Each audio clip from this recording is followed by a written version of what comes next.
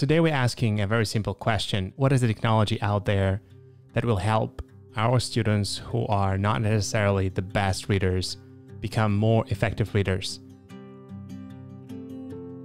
So let's imagine that I'm a student I have been assigned uh, to read this fable. If I'm not a struggling reader, that's not a hard task. Though, if I am a student who has a problem decoding words or comprehending chunks of text, it might be a little bit hard for me. Uh, what I can do with this technology is simply select a text and click Help Me Read This. This will open up an immersive reader. What I can do then is basically adjust the text, change the font size, change the background maybe.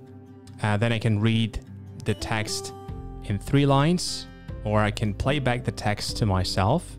There was once a countryman who possessed the most wonderful goose. Uh, If I don't want to listen to the text, I can just concentrate and read one line at a time, like this.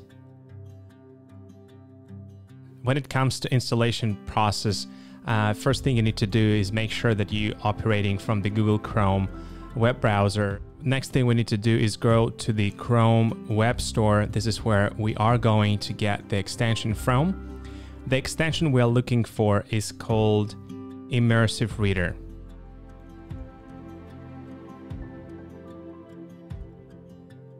That's the name of the extension. Use Immersive Reader on websites on official. Once we click on this extension, next thing, let's click on Add to Chrome. Let's click on Add Extension. If you want to make sure that the extension has been installed, simply click on this icon in the top right corner and you should see Use Immersive Reader extension there. So once you have a text that you want Immersive Reader help you read, uh, simply select the text, click on Help me read this. A new window will be opened with the Immersive Reader interface. There'll be a quick tutorial here. Let's just skip it. From here, there are a couple of settings I personally prefer. I go to voice settings and decrease the speed to 0.5 or 0.75. Next thing, I changed the font a little bit, decreased the font to about 28 points. I prefer the black background. I think that makes the uh, reading easier. I normally skip the grammar options and move on to reading preferences. From here, it's up to you whether to decide just one line or three lines. Three lines look better to me. Uh, these are my preferred settings. Uh, so from here, you can either click play. Or losing theirs and blaming it on you. Uh, you can start from anywhere in the text. If I click on if and start to play from here, the text will be played back from the very beginning. If you can keep your head when all about you are losing theirs and Or you can click anywhere in the text and the, the playback will start from there. trust yourself when all men doubt you. So this is how the extension works when you are working with the website, so text that is located on the website. Uh, when it comes to the Google Doc, becomes a little bit trickier because if you are on a Google Doc and you right click, you won't really see help me read this button. What you can do, however, the workaround it is publish the Google Doc to the web. And uh, let me quickly show you how it's done. First thing we need to do is click on File, then Publish to the web. We will then need to click on Link, click on Publishing Content. Make sure that you select the desired restriction settings. If this one is ticked, then only students from my organization, or currently my school, will be able to access this text. If I untick that, that anyone will be able to read this text if I share it with them.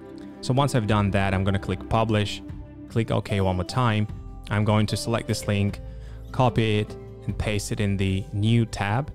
This will transfer your Google Doc into the web page. And if I select the text now and right click, you'll see I now have help me read this, which will transfer this text into the immersive reader text where you will be able to do all the things that I've demonstrated previously. When it comes to other formats, you might be wondering, what if I have a PDF or what if I have something that is not on the web? And for these purposes, I highly recommend Natural Reader.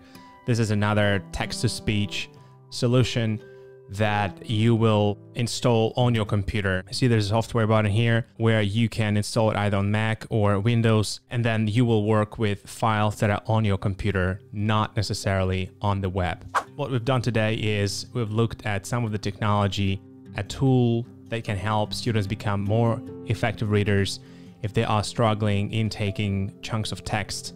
Uh, Immersive Reader and Natural Reader are two solutions that I can recommend that I worked with and that I know work for students and for teachers.